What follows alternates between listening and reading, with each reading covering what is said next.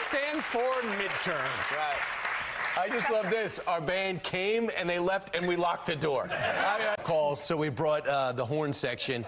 But it was great to see you. If anyone wants proof that. And we're going to be talking to the crowd all morning long, and you as well. Uh, and we we don't even have to ask them. We know, according to the that because I want to come into the audience and find out how many of y'all have already voted. I've heard from some people who say I always go on Tuesday, and that's what most a lot of Republicans do, more so than the Democrats. How many on this side have already voted?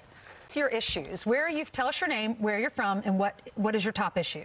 Uh, my name is Ugana. Fox and Friends live studio audience. Well, the battle for control of the Senate coming down to a handful of key races, now neck and neck, heading into tomorrow, Election Day. And joining us now, we're so honored, special report anchor Bret Baier and Fox News. Tonight. It will be fun. It All will right. be fun. Right. Tune in. We Okay, always we do. will. Taking the band with us. Take that as a, a demand. Yes, do you want the marching band We to can stay get the with band. us? Okay. Brit Hume might have a problem with it. Right.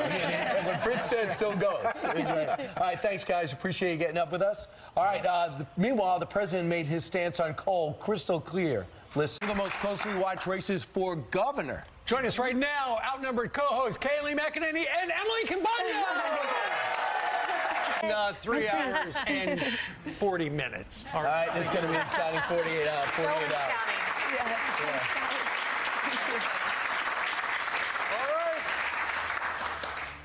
You know, the audience now realizes that as soon as we start talking, they turn to the big door to see who's next. Let's go ahead and turn around. well, this time.